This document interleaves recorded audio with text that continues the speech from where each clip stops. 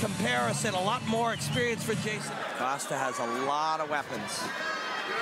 Head kicked a few guys out. Just head kicked Jason Knight, and again. That one landed.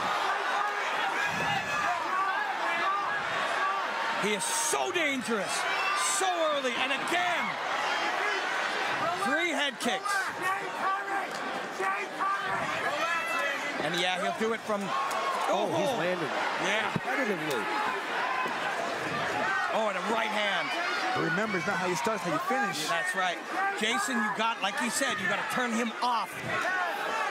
Oh, Boy, he landed a nice uppercut there. He is landing Jason's going to fire here. Yep. And of course, Knight said he's going to be cut up, and of course he is. Coach uh, Lozon saying Randy break away, and it's good advice. It's great advice. Yep.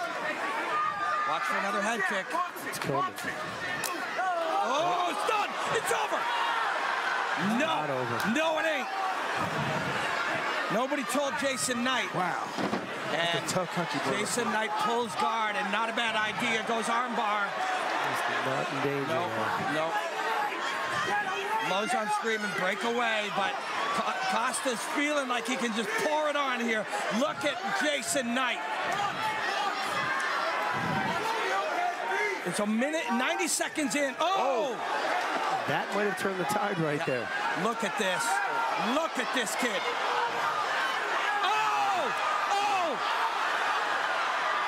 Yeah, that'll do it. Ladies and gentlemen, this bout goes a total of 1 minute 41 seconds of absolute violence. Your winner by way of knockout in his Gamebred debut, Randy the Zohan Costa.